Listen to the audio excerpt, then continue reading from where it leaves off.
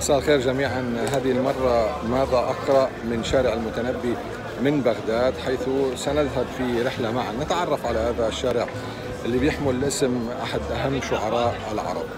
فلنذهب معا.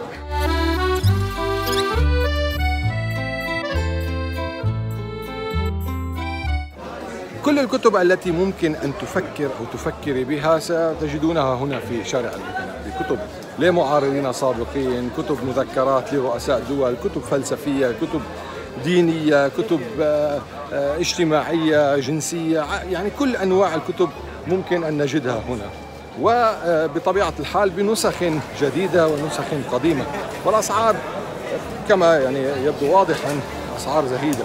يعني بالإمكان أن تملأ المكتبة الخاصة بك أو بك آه، بميزانية مقبولة.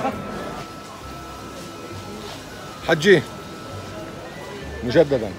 مش حكينا مع بعض. نعم. للأسف ما كان عم بيسجل. لا والله. والله كان عم بيسجل. ليش؟ وين؟ آه هناك مش حكينا عن إيه الكتب. إيه ليش؟ في والله مش عارف ما كان عم بيسجل هلا عم بيسجل. آه.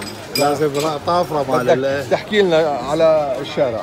آه شارع المتنبي من الشوارع اللي موجودة شو القديمة. بيعني لك شارع المتنبي لك؟ يعني لي لي الحياة الروح يعني اللي موجود. وخاصة من أيام الطفولة لأن مدارسنا هنا وأنا من هاي المناطق يعني حواليها. الأعدادية مالتي كانت هنا موجودة بقرب الميدان. يعني بعد شارع المتنبي من مسافه شارع المتنبي هو من الشوارع القديمة في العهد العثماني واول العهد الملكي كان اسمه شارع الأكمخ خانة يعني المخبز العسكري بالتركي.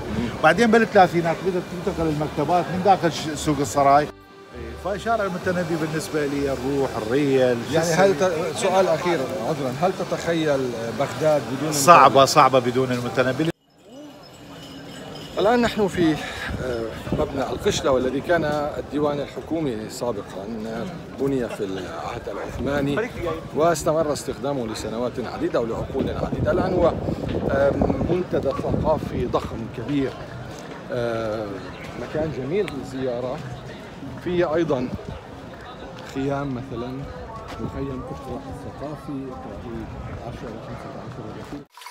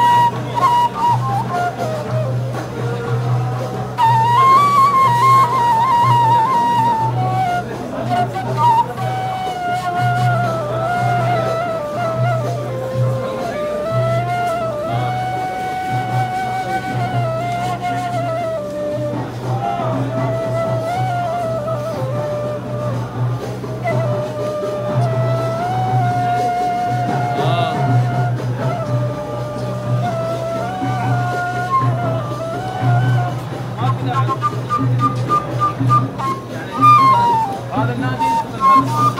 لا اسمع اسمع اسمع هذا شلون تعطيه شاب نحلم إحنا ترى.